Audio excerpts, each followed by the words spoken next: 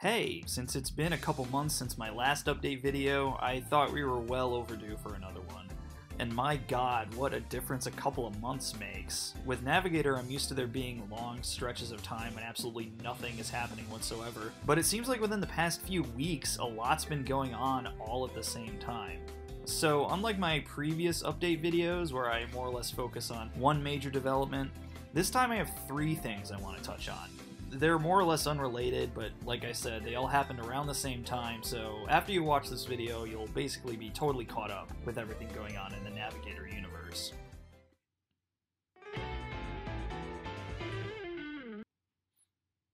I'm going to get this one out of the way first because it'll take the shortest amount of time and because it's basically plugging my own channel.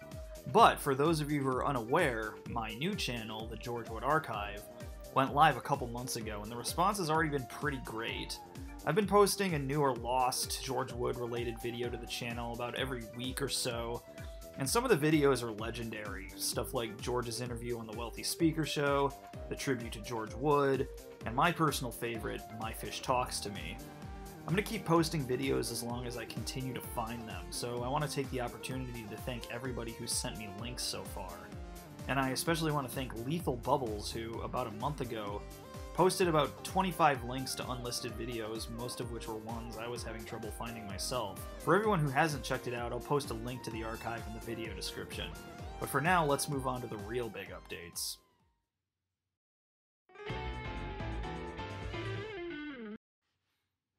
I guess it was good to start the video by talking about the archive, because it was actually my work in putting that channel together that led me to this next update. As many of you know, the first video I uploaded on that channel was George Wood and Tom Allen's interview on the Wealthy Speaker Show. One of the main topics of discussion in that interview is George and Tom's second company, Avatoy, and specifically its role in putting together the Navigator cruise. Listening to the interview for the first time in over a year made me remember how utterly terrible their website was, and feeling nostalgic, I decided to head over to avatoy.com to give it another visit. But when I did, something weird happened. I was greeted with a huge domains page saying the avatoy.com domain name was for sale. At first I thought I put in the wrong URL, that maybe it was avatoy.org or net or something like that, but I checked the interview and yes, I had it correct all along. As disappointing as it was, avatoy.com had been taken offline and I feared it had been lost forever.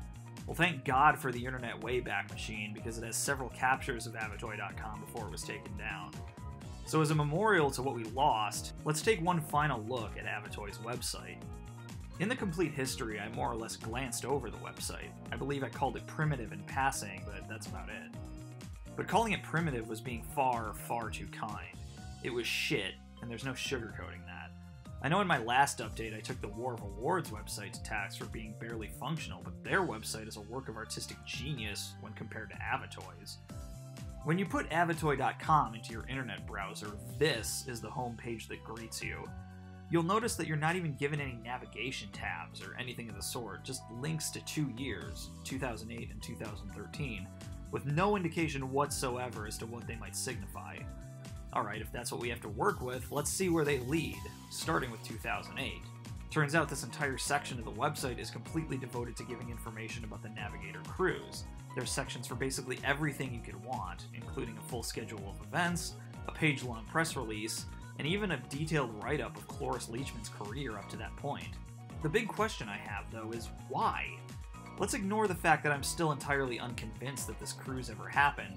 Even if it did, what good is it to leave this website online, entirely unchanged, over a decade after it took place?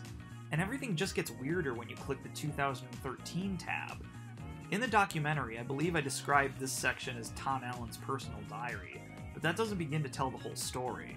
What this is, in truth, seems to be a collection of messages and memos meant solely for the eyes of Navigator and Avatoy staff, and no one else. This can clearly be seen by looking at the featured post titled Sticky Notes Front Burner, which is literally a to do list of important items for staff to focus on. Obviously, going into detail on every little post would be both boring and pointless, so instead I'll focus on one big thing. In the documentary, I mentioned that the website is a mirror into Tom Allen's mind, and after looking at it in more detail, I stand by that 100%. I've described Allen as someone who has unbelievably grandiose plans, but none of the competence to pull them off. This website absolutely speaks to that. As just a brief example, a series of posts from 2015 all focus on streaming esports events onto theater screens. Navigator and Avatoy, as far as I know, have never hosted any esports events. So maybe this was some ridiculous plan to get the Navigator Awards broadcast in movie theaters? Or maybe this is a relic of some aborted attempt to move into the esports field? Given Navigator's spotty and rapidly shrinking internet presence, it's impossible to say for sure. But perhaps the biggest testament to the failure of Allen's grandiose plans is this entry, YouTube series, that lists potential ideas for YouTube videos. Of the 24 ideas listed, exactly one has been made into an actual video, Entry D, which I'm assuming refers to the Geico parody George Wood and Cloris Leachman made. Other than that, nothing. The list itself is fascinating in its choice of subject matter. First, seriously, what the hell is up with their obsession with Cloris Leachman? She's literally in half of the list. Furthermore, for an organization trying desperately to stay current, their creative ideas show an incredible lack of awareness of the pop culture zeitgeist. This post was written in 2013, and who the hell in 2013 was talking about We Are the World, Beavis and Butthead, or Obama Girl? These things are years, perhaps even decades old at that point.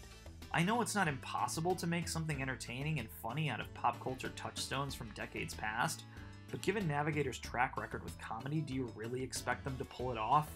Have you ever played with Again, I could dissect every little post, but I'd basically just repeat the same conclusion, so I'm not going to do that. I will mention a few more posts that viewers of this video might be curious about. There are a few posts that list Avatoy's top games from the years 1985 to 1998, there's one post that lists every Gaming in the Clinton Years episode Navigator ever released. They're all listed twice, because of course they are, but that'll be an invaluable tool for archival purposes. And there's a post called What People Are Saying About Gaming in the Clinton Years, which is basically a collection of mostly negative comments about the videos themselves. Now, the big question overshadowing all of this is what does Avatoy's disappearance from the internet mean in terms of the ongoing George Wood and Tom Allen saga? In a way, it means nothing, but it also means everything. Nothing because, since basically their inception, Avatoys left almost no mark on the scene. Aside from their website, the only real notable internet presence they left was the fact that their logo was placed at the end of some of the earliest Gaming in the Clinton Years episodes. And I'm guessing that most viewers didn't rush out and Google, what's an Avatoy after watching them. But as inconsequential as they were, I want to argue that their disappearance also means a whole lot. At the beginning of the year, we saw Navigator basically purge everything that wasn't related to gaming in the Clinton years from their YouTube channel. Now, at the end of the year, we're seeing the exact same thing happening again. An enormous chunk of their history is being erased from the internet with no warning. Avatoy's website, at the very least, can be archived via the Wayback Machine, but the same cannot be said for their YouTube page, which I haven't even touched on yet. Avatoy's YouTube presence was always minimal, when I started this series of videos, they had 4 subscribers, and they've jumped to 18 since. Furthermore, their videos were unlisted from the start, but they were at least accessible from a series of playlists. Those playlists, as far as I can tell, are completely gone, along with the videos within them. I think they were straight up deleted, which could be a huge loss, since I have absolutely none of them archived. If I'm wrong about all of this, please let me know, but again, I don't have a lot of hope. There are a lot of mysteries surrounding this ongoing purge, with the biggest mystery of all being why now? For years, Navigator would upload new videos at a regular, albeit rather slow, pace, until one day they completely stopped. Avatoy seemed content with letting their bizarrely primitive website and YouTube channel exist without oversight for years. Hell, their YouTube channel had remained in the exact same state since 2011, for Christ's sakes, and nobody seemed to care one way or the other. And then all of a sudden, this year, that all changed. I would never be delusional enough to take credit for this, but at the same time, it is odd that only after I released my initial videos and brought attention to these obscure corners of Navigator's history, that they all felt the need to remove them. I don't know what else could have happened that lines up that well, so if any of you have any theories, please feel free to share them in the comments. I'll leave you with one more mystery.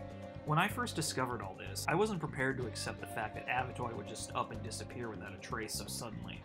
So, my curiosity being piqued, I went over to the Maryland Secretary of State's website and ran a business entity search for Avatoy.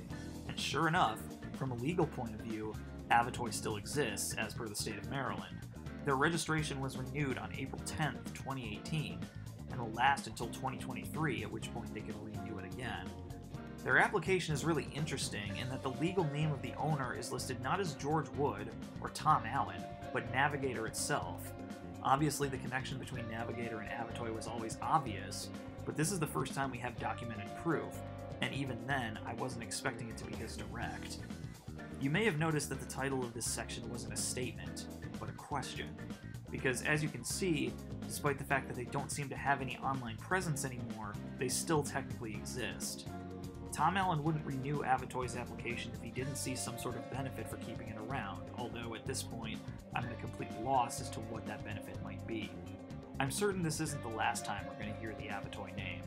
Whether we hear about Allen trying to plan some new grandiose event that may or may not happen, or whether I have to scour through more Maryland legal papers to see where this trail leads, something will come of this. What it may be right now, though, is anybody's guess.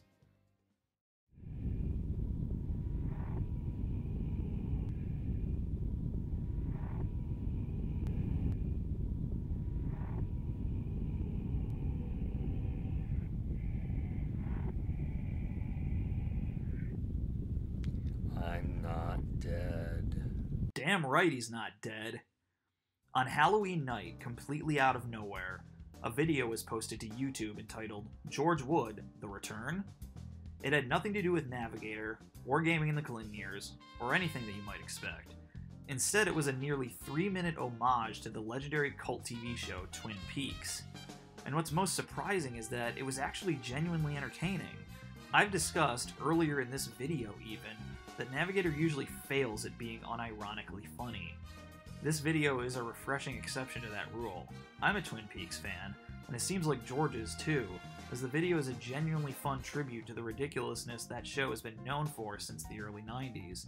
If you still haven't seen it, I'll put a link in the video description as well.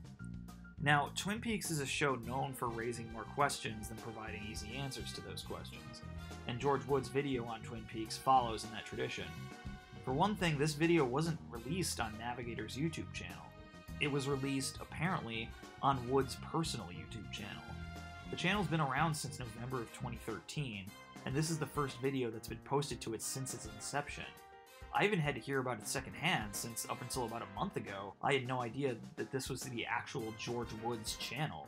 And I'm guessing most of you didn't either, since even now it only has 16 subscribers, so hey, if you're watching this, give our buddy George some more attention. But again, this all begs the question why release it on some obscure channel and not on Navigator? Why is Navigator not promoting it whatsoever? Why disappear off the face of the planet for over four years only to come back now? None of these questions have answers, since as of me writing this, George sadly hasn't uploaded anything since. In the last big rush of new George Wood videos, in 2015, we ended up getting a lot in relatively rapid succession. Here, not so much, although there is good news. It looks like more is on the horizon. The War of Awards channel is premiering a new video called George Wood Christmas on Christmas morning, which is probably the greatest way to celebrate the birth of our Lord. What is it going to be? I have no idea. All we can do now is subscribe to his personal channel, set the premiere of the new video in our calendars, and wait. Whatever comes, it's going to be at least memorable.